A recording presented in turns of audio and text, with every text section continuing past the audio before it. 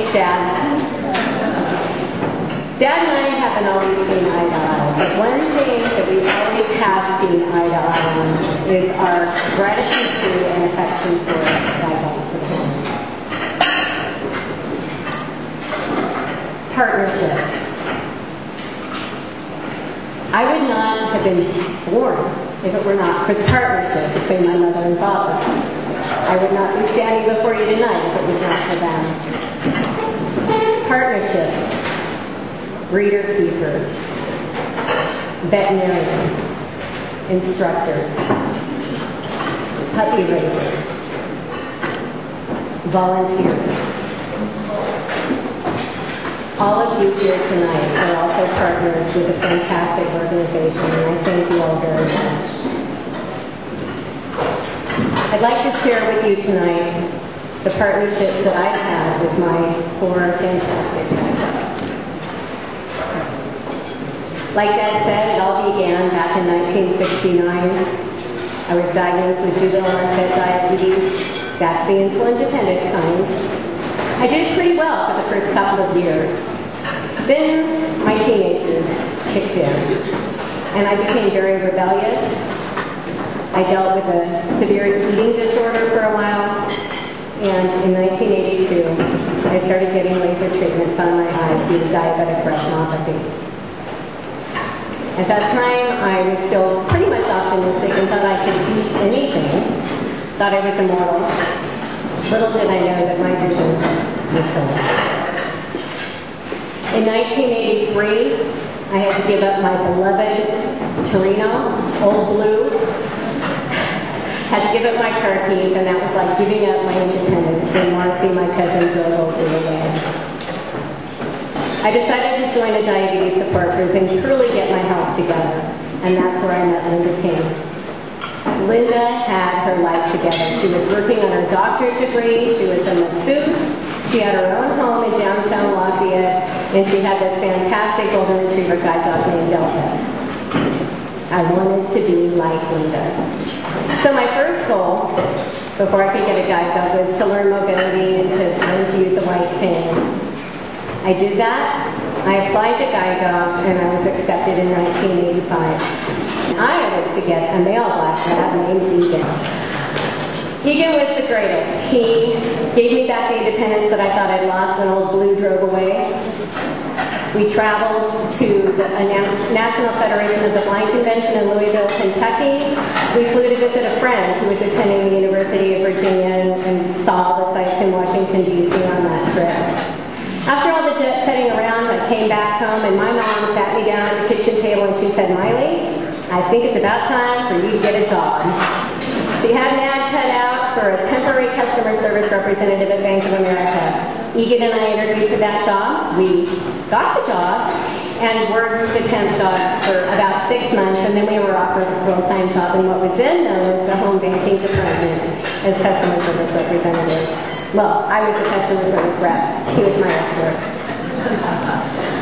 we met a lot of friends, new friends there. I got great performance reviews and had a pretty successful career. A little few years later, I bought a condo in downtown Concord, and I felt like I was a real bona fide adult and a real grown up at that point. I met a real good girlfriend, Anna, and we decided that we were going to go to the exotic erotic ball. It's a, it's a masquerade. You all know what it is, obviously.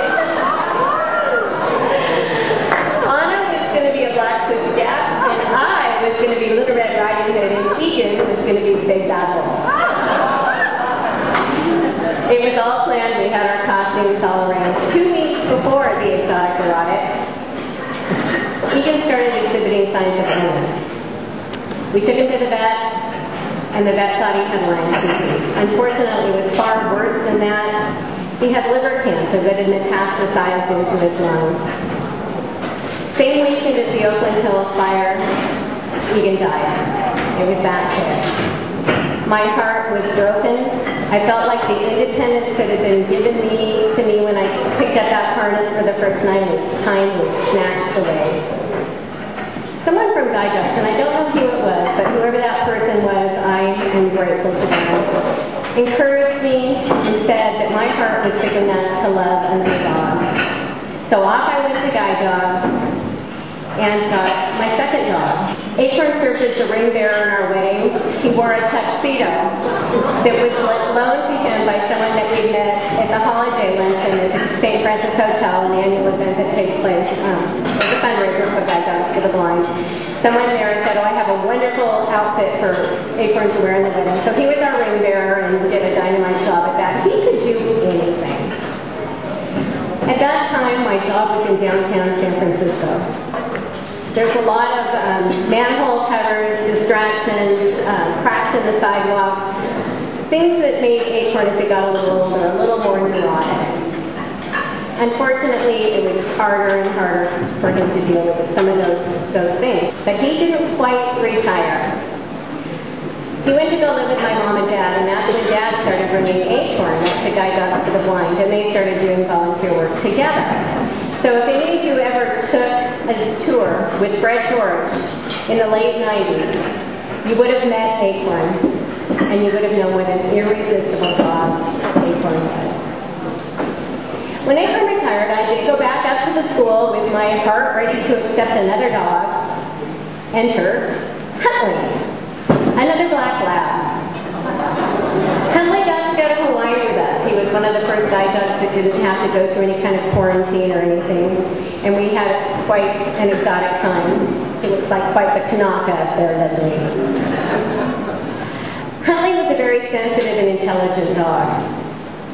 I was, as you know, a diabetic, and I had a very long commute to get down to the clock tower in downtown San Francisco from Pacifica, which is where we were living at that time.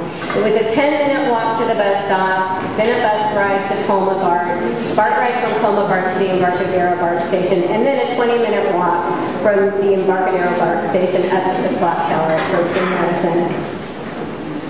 I always had to make sure that I had enough sugar on board or my blood sugar was high enough before I started the commute, either way.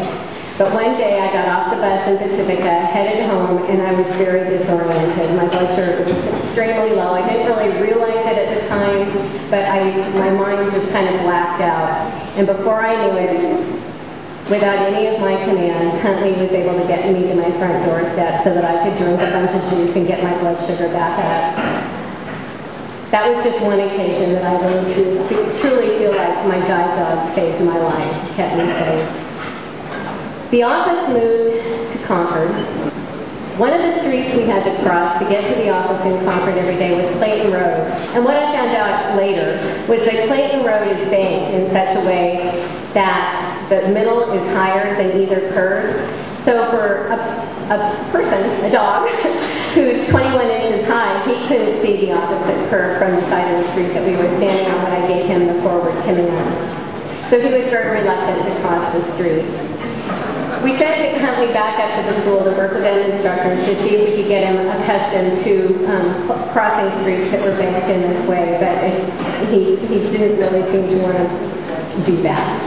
So he returned and went to go with my sister up in Roseville. So I went back up to Guide Dogs, and I got my wonderful furry friend, Flanders.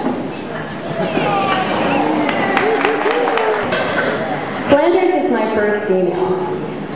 She's the most courageous, the most funky, and the most challenging of all dogs.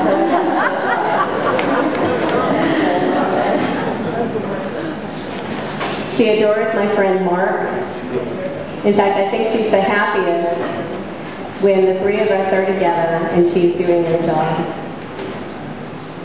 She's nine and a half now, and I know that her day will come too. But after my past experience, I know that my heart is truly big enough to make more room. Egan, Acorn, Huntley, Flanders, and who knows who next. And it's thank you to all of you who have made this wonderful program possible. Thank you.